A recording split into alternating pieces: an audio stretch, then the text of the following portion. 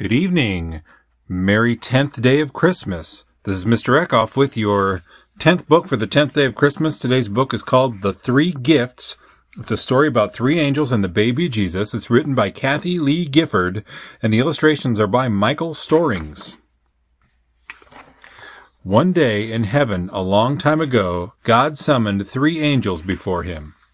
He told them to sing of the birth of his son and to take him three gifts to adore him. So off from heaven the angels were sent, chanting sweet songs of joy. Glory to God, grace and peace to all men, they sang as they searched for the boy.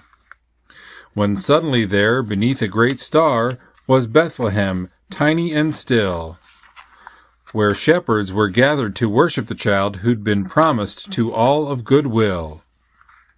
The angels grew silent as they drew near, for they knew they were on sacred ground.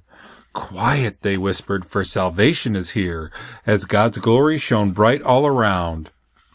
Then the three angels bowed down with joy to see God's dear Son newly born, asleep in a manger, his mother nearby, and they worshipped that first Christmas morn. Each of them wondered how God could allow his most precious possession to leave him, but they knew in their hearts that some day the child would inspire the world to believe in him. They lifted their voices in songs of praise as the sweet baby opened his eyes.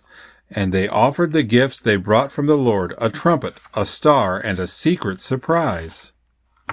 The trumpet announced the Savior was here, and his star would guide us through darkness and fear. And the secret surprise that was sent from above, that if you open your heart, he will fill it with love.